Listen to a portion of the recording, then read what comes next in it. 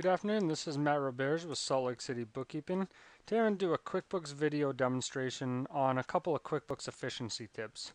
I just want to show you how to calculate directly in a field, drag the check mark in the reconciliation screen, give you a couple basic keyboard shortcuts, customizing the icon bar, as well as memorizing reports and transactions. If we switch over to our sample company here, uh, and you want to calculate in a field, simple one demo is on a check if you have uh, any vendor, and let's say it's $120.32 plus 56.24. You can automatically do the calculation right in QuickBooks rather than pulling up the calculator or your own 10 key on your desk.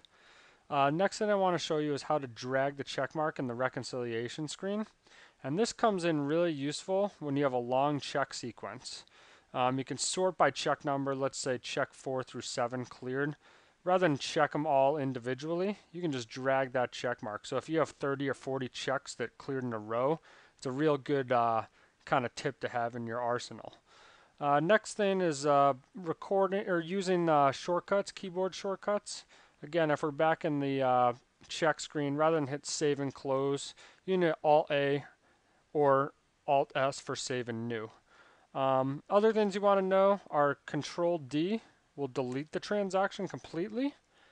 And another one that I, I would like to demonstrate is how to delete a line. And that I want to show you on a journal entry. Uh, if you just need to delete the line, highlight the line itself and hit Control Delete, and that will get rid of the line. Um, next thing I'd like to show you is customizing the icon bar. And if you come up here and just right click on the icon bar, you can customize it by hitting add and going through the prefab list here, add in whatever you use quite a bit. If a command's not on there, like make journal entries, you can still add it by going to company, make general journal entries, and if you come under view, there's an option to add it to the uh, icon bar. So even if it's not on that list, you still may be able to get it to your icon bar for quick uh, access. And the last thing is just memorizing reports and transactions.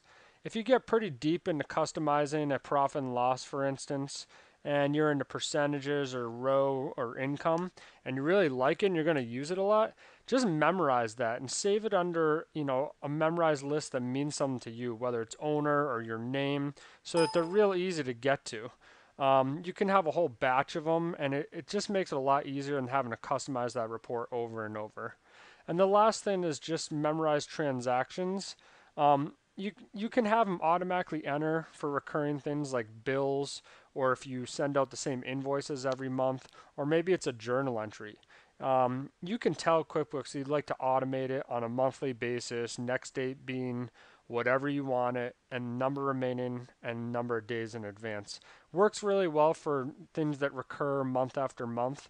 Um, quick way to get them in there. So Again, just a couple of tips there um, for you on staying efficient in QuickBooks.